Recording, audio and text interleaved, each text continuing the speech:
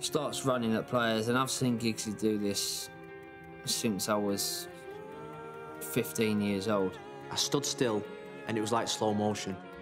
In and out, gliding in and out. It's like a gazelle. He, he had this grace about him and he was making body movements without even touching the ball. And, and Lee Dixon went for one, Martin Keown went for one. I just saw him going through, going through, keeping keeping on going. I'm thinking Scholes is coming in back post. Look look at Scholes, look at Scholes.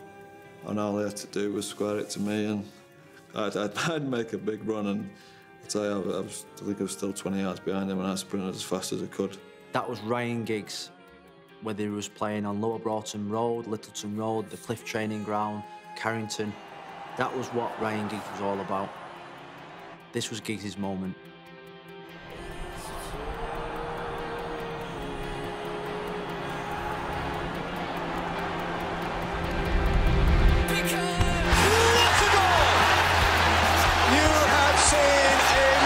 position, wave along.